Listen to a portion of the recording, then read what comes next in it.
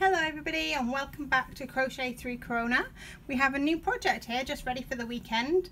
Um, this is a request from one of our um, group participants, group members, group members, that's the word I was lo looking for. Um, so to this weekend we are going to be making these lovely little garlands. Um, so the individual uh, circles that are all attached together and you can make this as long or as little as you like depending on where you want to, to put it. You can use as many or as few colours as you like um, and depending on the yarn you use you can make them as big or little as you like. So I'll tell you what we need to make one this size so you can kind of get a gist of it by my finger. Um, but then if you, you if you want smaller uh, circles or larger ones you can just either use smaller yarn or larger yarn, th thicker weight yarn. So that's how simple it is. This pattern is taken from um, Lily's Sugar and Cream Festive Garland um, and it's a free pattern available on the internet so if you google Yarnspirations um, Lily Sugar and Cream Festive Garland then you will be able to find it I will also put a link in the comments um, so you can have a look at reading the, the pattern yourself so what you'll need is your if you're going to do one similar size to this you'll need some worsted weight yarn. I'm still using the same type of yarn that we've used all the way through crochet through corona.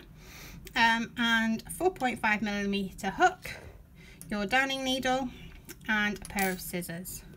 So I'm just going to push that back a little bit so we've got space to work now generally this pattern is really repetitive. Um, so each circle is pretty much the same. The only slight difference is in the first circle. So I'm going to show you the first circle and then the second circle and then um, circle the second and all the other circles will be exactly the same. So there's only the first one there's a slight variation on. So we're making a circle but in previous sessions we've made a circle using um, the magic ring we aren't going to do that for this pattern. We're going to have a really fixed size open circle at the middle. As you can see there, there's kind of a gap. Right, it's set and it's not going to get any smaller or bigger. Um, so it's a different way of making a starting circle and it's using the chain method. So we just cast on as we normally do, ready to make a chain. And we chain four.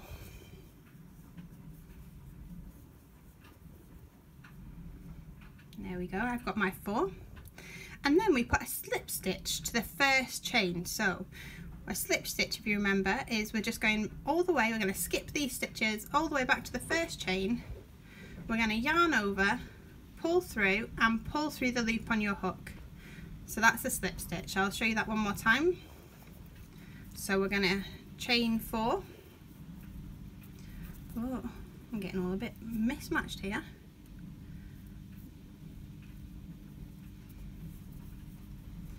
One two three four. And then we're going into the very first chain just into the top of the V. We'll yarn over and pull through and then we'll pull through the loop that's in our hook as well. And then we're going to chain one. And that is our little center loop secure. And now we the rest of this round is going to be worked into the middle of that loop. So it's going to be really important for you to find where that middle is. Don't go into that first chain which might look quite big now. It's into the actual middle of the loop. And we're going to do a single crochet into the middle of the circle. And then we're going to chain two. One two. And do another single crochet into the center of that circle and chain two. And we repeat this for a total of four times. So you'll have four single crochets and uh, four lots of chain two. I should just clarify how we do a single crochet. So we are putting our, our hook into the middle of the circle. We yarn over and pull through. Yarn over and pull through both loops on the hook. And then chain two. One two. Releasing some yarn there. And then you can see where your single crochets have been. So I've got one two three. So I've just got one more single crochet to do. And then my final chain two. And we are going to then slip stitch to the top of that first single crochet. Top of that first single crochet right there. So the slip stitch was to yarn over and pull through and pull straight through the loop on your hook. And now you can see you've got that quite fixed centre circle. So you're really on your way.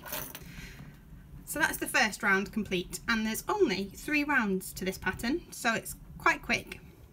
Now we're going to slip stitch into that first chain two space. So we're going to go straight into that next big gap. Can you see it there? And we're going to slip stitch so we yarn over, pull through and pull through the loop on the hook. Now we're working into that space and we're going to chain two. Now this chain two will count as our first half double crochet in this round and in all the other rounds. So the first, the chain two counts as half double crochet. So when you slip stitch back to the beginning after, this is the chain, this top chain here, that's where you're going to be joining with. And then we're going to do three half double crochets into that same chain two space. That's one. And the half double crochet is um, before you start, you yarn over, you insert your hook into the space, yarn over and pull through, yarn over and pull through all three loops on your hook. And one more for in here. There we go. So I've got my chain two and three half double crochets. Then in the next chain two space, just double checking, yep, we'll do four half double crochets straight into the next half to half um to the next chain two space. So we're just going to move straight on from there, we yarn over and this time we insert our hook into the next chain two space. Yarn over and pull through and we repeat that for the next four half double crochets that are going into that space. One, two, three. If you lose track, you can easily count your half double crochets. They're quite easy to count. You can separate them apart and you can count them. So I've got four in there. And then we're going to do that into the next chain two space as well. So another four into the next one.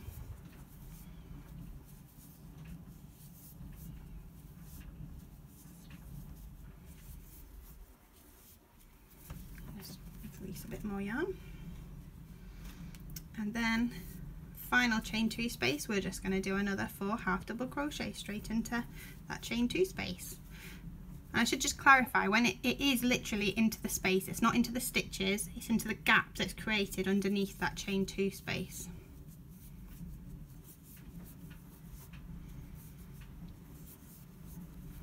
So there we go we've got four in there one two three four. And then we slip stitch into the top of that chain two space uh, to the original chain two which I pointed out earlier. So it's quite tricky to see but there's my first chain one and then that's my chain two. So these bits are actually really quite fiddly. Or I find them fiddly. Maybe if your chains are a bit bigger than mine um, and you have a looser stitch then maybe you won't find it as fiddly but you just want to get both parts that be over your hook yarn over and pull through and carry on and pull through the loop on your hook. Round two complete.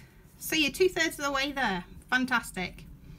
If you um, are following the pattern, it will always tell you how many stitches you should have at the end of each row. So you can go back and count. So you've got, you count the V's along the top, so you should have 16 half double crochets. And remember that that chain two counts as one. So the chain two counts as one just there. So we've got one, two, three, four, five, six, seven, eight, nine, 10, 11, 12, 13, 14, 15, 16. So I've gone through and counted the actual half, the, the pillars of the stitch. You can do it exactly the same all the way back. So you've got one on the V's, 1, 2, 3, 4, 5, 6, 7, 8, 9, 10, 11, 12, 13, 14, 15, 16. And then you don't count that one that the stitch is just going through because you've slip stitched into that one. So, so I've got 16, you should have 16. And if you have, let's carry on. So for round three, we're just going to start by chaining two again and again this will count as your first half double crochet. And then in the same space as you've just come out of with that slip stitch so I'm going to zoom in a little bit there so you can see. Going back into that same little nook there little hole in under the stitch you're going to do another half double crochet. So that counts as two in that first stitch. Then we're going to do one half double crochet in the next stitch and two in the next stitch.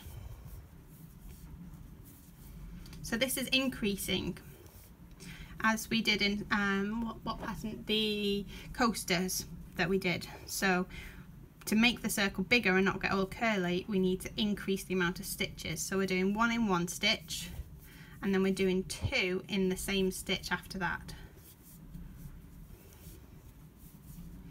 if any of this isn't clear please do drop a comment underneath the video and I will definitely try and get back to you as soon as possible really.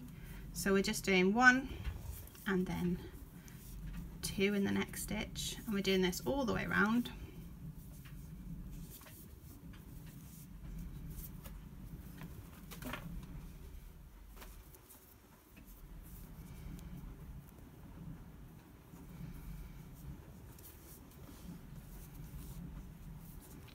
and if you lose track of where you're up to you can always just kind of pull it apart a bit and I can see that I've got two stitches going into that hole that stitch there and I've got one into that stitch there. So this time I should be doing another one into the same stitch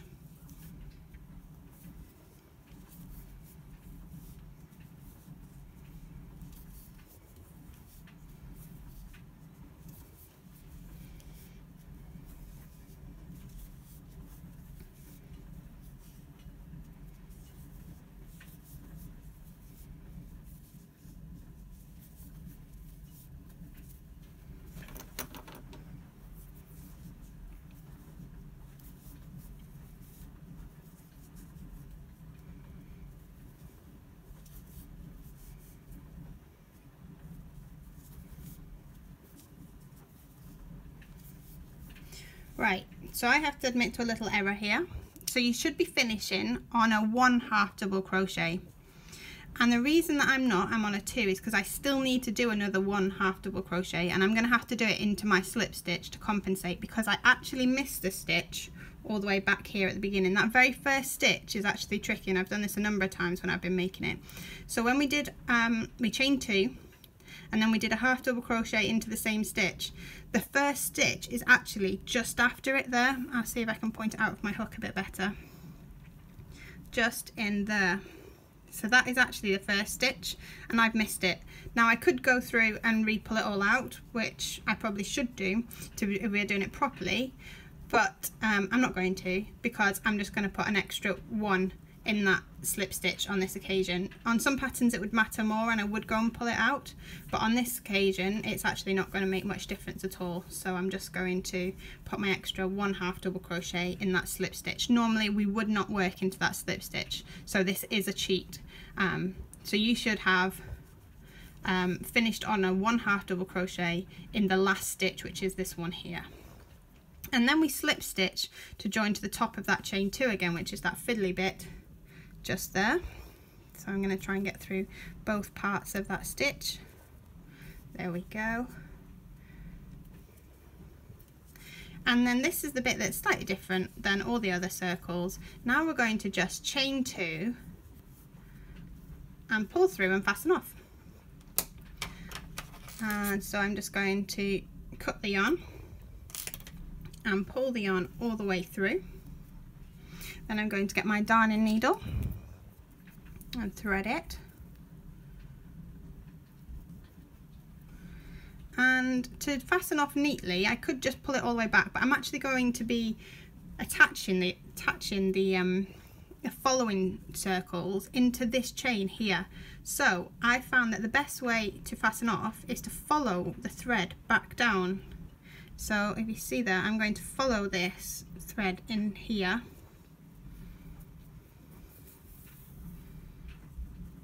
and then into the back of the work.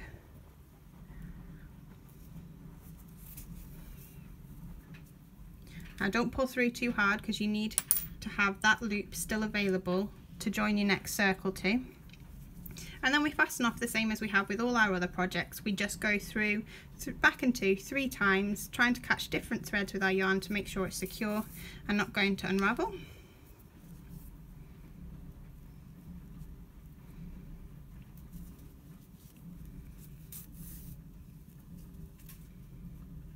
And then final time going back through. And then we can just trim that off. And then we do the same with this thread here to run our center circle. To be honest it's really unlikely that this is going to come apart but just to be on the safe side and especially since it's not something that's likely to be pulled apart much not a baby toy or anything but you never know if you choose to dangle this over a baby it could be a baby toy so we will just make sure it's secure. Back into three times again. And then trim. And we have our first part of our garland. Three rows a nice little circle. Not perfect as I admitted because um, I should have had that stitch over here instead. But practice makes perfect um, and the pressure of doing it on film is clearly getting to me um, so I'm going to pause this video there to give you time to practice and get your first circle done. The second circle is very similar but um, it does have a slight difference in it so I will do another video with the second circle that you then repeat for all the others. I hope you enjoyed this video and find this pattern easy to follow. If you have any questions or comments please do let me know in um, the comments below either on the website or on Facebook happy hooking and speak to you soon.